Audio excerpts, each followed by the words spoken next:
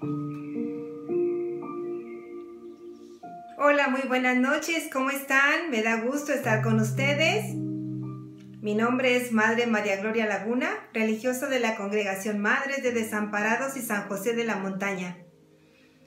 Y tenemos como reto darle lectura continuada a las cartas de San Pablo.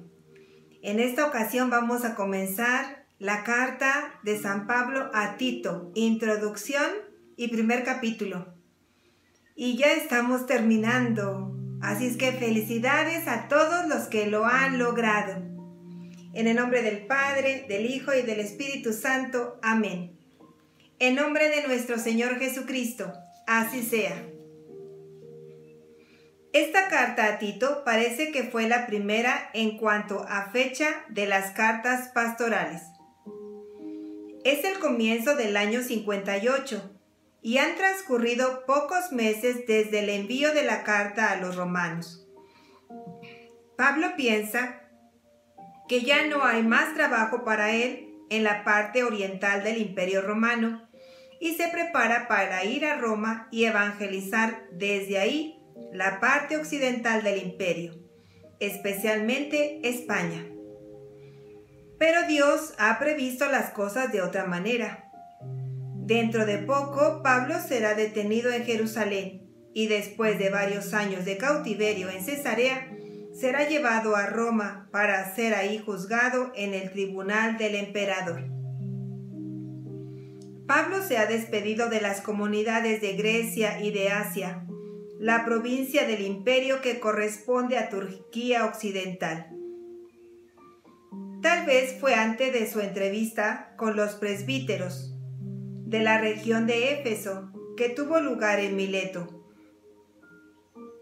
cuando Pablo redactó esta carta, que presta una atención especial a esos pastores de las comunidades cristianas. Los otros puntos importantes de la carta se refieren a las obligaciones de los cristianos según su situación en la sociedad, al respeto por sus obligaciones sociales y a la sumisión a las autoridades. Pablo retoma o desarrolla aquí lo que había expuesto en la segunda parte de la carta a los romanos. Esa misma carta le inspira algunas pinceladas sobre el plan de Dios que encontramos en primera 3, 4, 2, 11, 34, 3, 4, 7. Pablo está ya pensando en su viaje a Roma. Una de las paradas será Nicópolis, en la costa occidental de Grecia, un sector que había evangelizado Pablo y donde se encontrará con Tito, que está en Creta.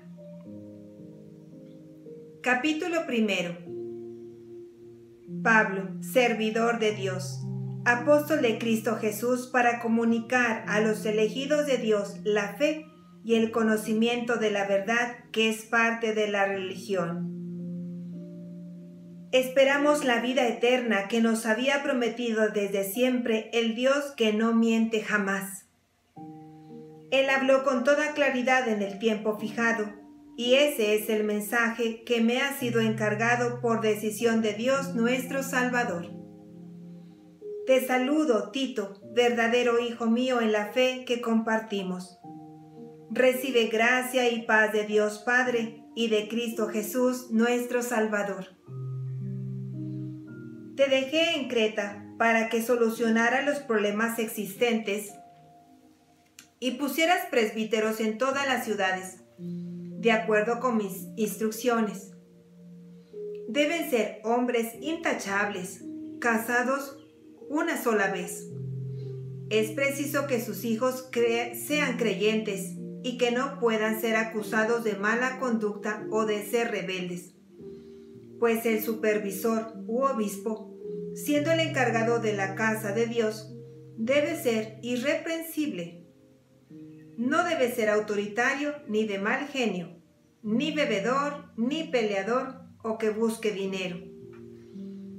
Al contrario, que se practique la hospitalidad, que sea amigo del bien, hombre de un buen juicio, justo, piadoso, dueño de sí mismo.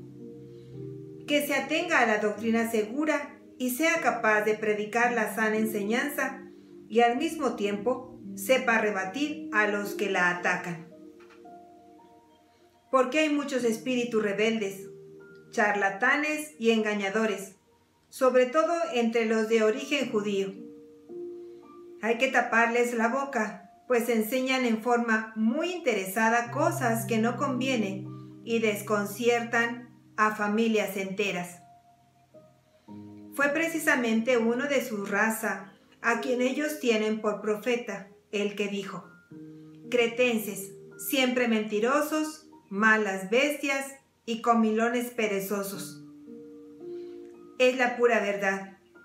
Por eso repréndelos con firmeza para mantenerlos en una fe sana y que no hagan caso de las fábulas judías ni sigan las prácticas de gente que da la espalda a la verdad.